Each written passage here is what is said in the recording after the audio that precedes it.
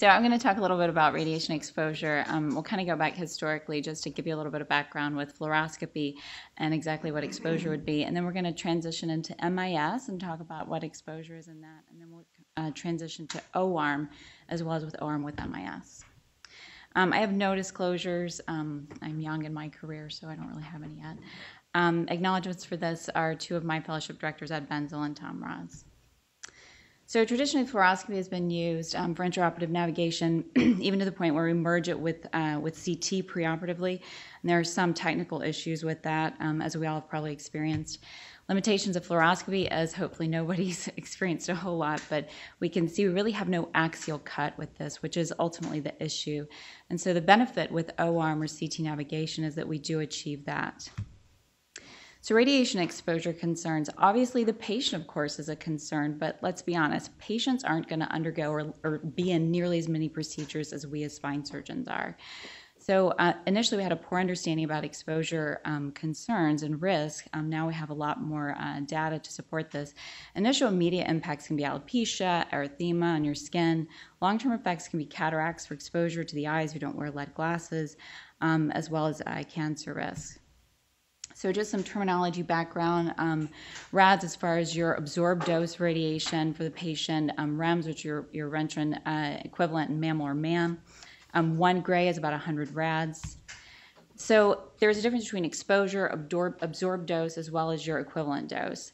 So one of the most important things is actually absorbed dose. So per gram or per unit mass of tissue, the amount of radiation that's actually absorbed there. And that's really the, one of the most important pieces to follow. Um, we'll skip through that. So, scatter is one of the most important um, things for surgeons in the operating room, especially noted with C-arm, fluoroscopy, X-rays. Um, this is really the important thing. Multiple, the wor- the biggest source of scatter radiation is actually the patient, the surgeon. So, this is really important. This is actually kind of surprising to me when I saw this. So, one minute of fluoro is about 150 chest x rays. Therefore, when your five minute alarm goes off, that's a heck of a lot of radiation. So we really need to keep that in the back of our head as we're thinking about transitioning to navigation or purchasing a system if you don't already have one. So there are multiple ways to protect yourself as a surgeon. You can think about equipment, you can think about lead glasses, lead gloves, if you have those readily available. Of course, lead that we should wear. Lead should always be checked yearly um, and, uh, for its appropriateness and the appropriate uh, width of it time minimizing time and exposure radiation as well as the surgeon's distance. Think about having lead shields in the or that's also very important. Um, or if you're able to and your institution allows you to step out if you're using O-arm navigation that's also very important. So spine surgeons are at higher risk because the actual surface area, the, the girth of the area that you're radiating is directly proportional to the amount of radiation exposure and scatter. So for us, as spine surgeons, we image the thoracic region, the abdominal area, as opposed to an orthopedic surgeon doing an extremity surgery. And so our radiation exposure for scatter is going to be significantly more. So now we're going to look at sort of an MIS comparison. This is a study done by Tom Mroz at the Cleveland Clinic. Um, so, and I believe Dr. Lieberman, you are also involved in this. So this is 10 MIS uh, microdiscectomies versus 10 open. And here's the graph showing exposure of the surgeon's hand, and of course the MIS area here, significantly more than obviously an open procedure. Um, nonetheless, in spite of the fact that an MIS microdisc was, the surgeon was exposed to t- 10 to 20 times the amount of radiation as opposed to an open microdisc, nonetheless, MIS still was safe. You would have to do about 9,000 MIS microdisc a year to actually achieve over the OEL. So then looking at MIS lifts and exposure, very similar scenario. Maximum surgeon dose under a lead gown, about 62 millirems. However, this is still less than what's concerning for your exposure throughout a year. So then we're going to look at CT assisted. This is a study by Dr. Vaccaro. CT assisted, this was using ISO-C. Um, and so we wanted to look at exposure in cadavers. So basically 48 uh, lumbar screws placed in four cadavers using fluoroscopy versus the ISO-C. And so he found that in fluoro, you had significantly more exposure to the radiation as opposed to if used ISO-C. This study is now transitioning to O-arm navigation, um, uh, TLIF. uh, using MIS. And so this is a study done um, actually in France. Um, for our French people that are here. So there's 12 patients for MI, all for MIS TLIF, six patients in the fluoro group, six patients in the O-arm group. And of course, um, what they did is they basically used passive dosimeters at, um, at the hand for like a ring and as well as at the eyes, and then they used the active dosimeter at the thorax. And they found that the average time of fluoroscopy was about almost four minutes um, in the fluoro group, which is quite significant. And so therefore exposure to the surgeon was a lot more. But in group two, which is the O-arm group, exposure dose, because they could step out of the room, was zero. This is a study um, done at the Cleveland Clinic. Tom Mroz um, directed this. It was 10 lumbar OR cases. The dose to the surgeon, because the surgeons were able to step out of the room about, on average about four and a half meters away. Dose to the surgeon, about 44 micrograms. Very, very low. And basically, this is indicating, you know, arms completely safe for the surgeon to, to persistently do this.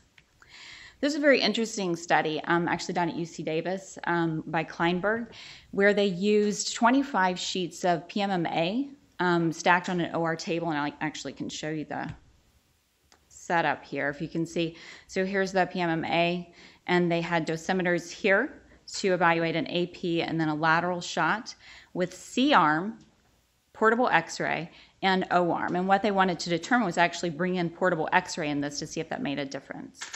Um, and here's the actual OR setup. They evaluated everybody's exposure the anesthesiologist, the surgeon, the assistant, and the radiology technician.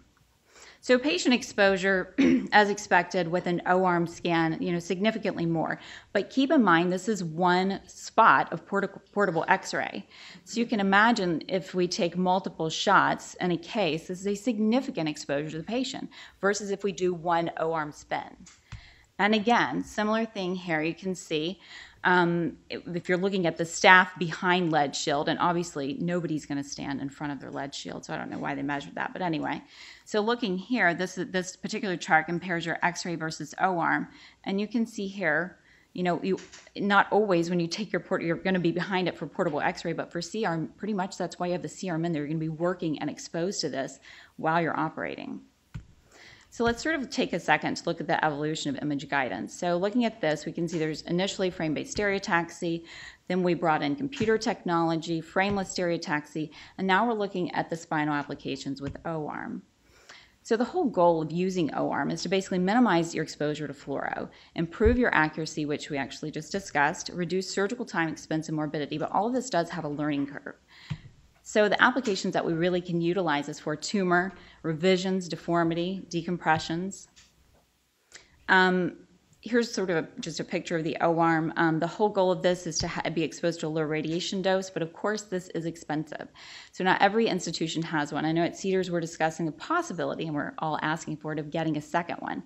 But it's a big investment, and you have to make sure that your case volume supports that. I do want to talk about this study briefly out of the Mayo Clinic. This was looking at with your O-arm, you have different settings. You can use a HD setting, you can use your standard setting, or you can use a pediatric or a low dose setting. So this particular study out of the Mayo Clinic I really enjoy because this shows the numbers here. And so the question is, is your pediatric dosing adequate in a patient to be able to get good enough imaging? So, you know, very frequently we have a large patient, we just jump to that HD. I know I've done it. So um, what we should look at is actually can we do that? So here is a quality of the pediatric protocol that they had in their in their patients, and then versus the standard protocol, and the the exposure difference was significant. It was about fivefold um, larger in the standard protocol. The limitations of pediatric, basically larger patients. So if you have a patient that's greater than 100 kilos, you're probably going to have to use at least standard, if not HD. Another issue is the cervical thoracic junction. Also, patients who have either stainless steel hardware in or other hardware in it can sometimes create artifact. So conclusions for this, basically image guided surgery, I don't think that we're at the end of it. I think we're at just the beginning with O-arm technology. Um, the key thing is preoperative planning, know who to do this in, what settings you can use to minimize your exposure as well as the patient's. Other really important thing, everything as we've discussed is uh, is fallible, including technology. Um, so you need to know your surgical anatomy. That's first and foremost because one of my worries is that we use it so much because we're all trying to get better that our residents and people training are actually losing the normal anatomy. Any questions?